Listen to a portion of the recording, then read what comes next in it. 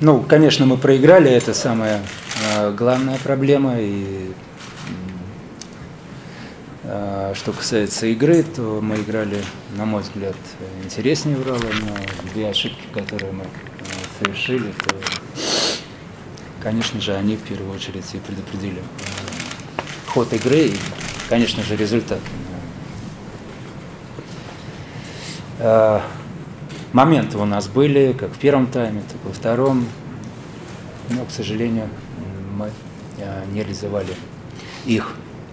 Если бы мы забили больше, чем один, я думаю, конечно, мы э, не проиграли. Но что, что сейчас говорить? Результат 2-1.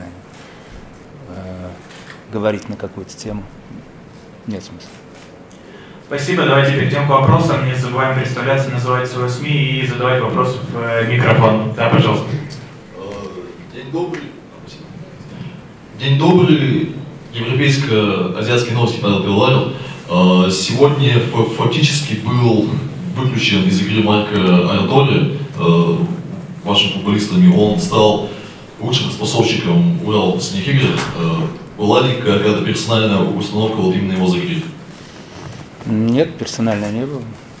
Мы готовились игре, к игре и рассматривали всех игроков, но в первую очередь рассматривали, как э, команда играет соперника, но акцент делали на своей игре. Спасибо. Да, пожалуйста. Сергей Панин, едет. А можете сказать свое видение ну, о первом голе Урала? Все-таки вы считаете неправильно был забит с точки зрения правильно или нет? Ну вот, если абстрагироваться от э, судьи, а просто как эксперт, что ты? Ну, мне показалась первая передача, которая шла, э, там был офсайд. Ну, надо смотреть. Но по первому впечатлению я, соответственно, реагировал на это, потому что я видел все-таки, как по мне, офсайд был. Спасибо. Еще вопрос? Да, пожалуйста. Валерий Полевиков, Джундон. Э, два гола Урал забил, забили игроки, которые вышли на замену, а, то есть замену сыграли. Согласны ли вы, что именно ну, в плане перестроения игры по ходу второго тайма в, в этом Урал стал ключом, почему Урал победил сегодня в самом игру? Ну, я думаю, наверное, тренер это скажет своей команде. Я лично думаю, что в первую очередь мы не доработали в действиях в обороне, ну, конечно же, и в атаке. Поэтому это самое главное. Э, и не соперник, не э, рефери виноват в нашем проигрыше, а мы сами.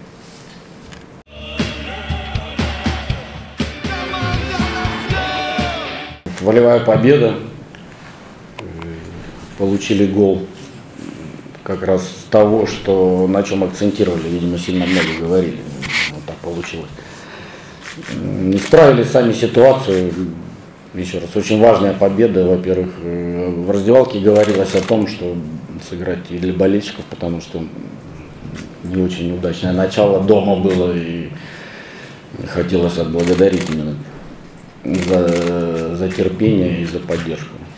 Несмотря на эту погоду, люди пришли, люди болеют, и ребята выложились на сто процентов и выиграли игру. Всех с победой! Спасибо. Давайте перейдем к вопросам. Не забываем представляться и задать вопрос в микрофон. Да, пожалуйста.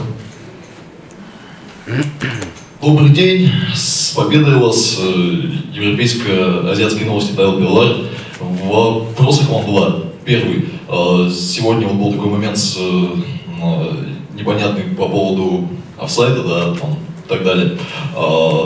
Как вы считаете, может стоит на матчах РФПЛ ввести наконец-то систему ВАР, которая была во, во время чемпионата мира? А мне какие вопросы? Это Наверное, есть кто отвечает за это. Придет время, ведут. Сейчас что уже говорить? А, то, что я сейчас вам отвечу, от этого что-то изменится. Второй вопрос. Эм, Владимир Ильин э, является одним из самых, наверное, талантливых нападающий, да, э, нашей лиге.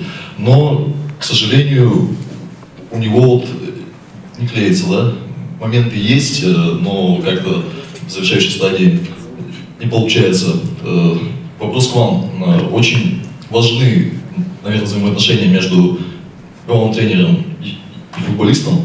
Э, то есть вы не смогли пока подобрать ключик к Владимиру. Почему так не выходит? Спасибо. Ну, во-первых, Володя старается, и к нему в этом плане вопросов нет. Большая отдача, огромное желание. Поэтому я думаю, что если такой же настрой будет, все вернется. А начнем с того, что забивать голы начал он в Тосно у меня, выходя на замену. По-моему, 14 мячей забил, 9 из них выходя на замену. То есть здесь вопрос, наверное, не к ключам, наверное, общий такой вопрос. Бывают такие моменты у нападающих. Ничего, перетерпит будет забивать, куда он денется.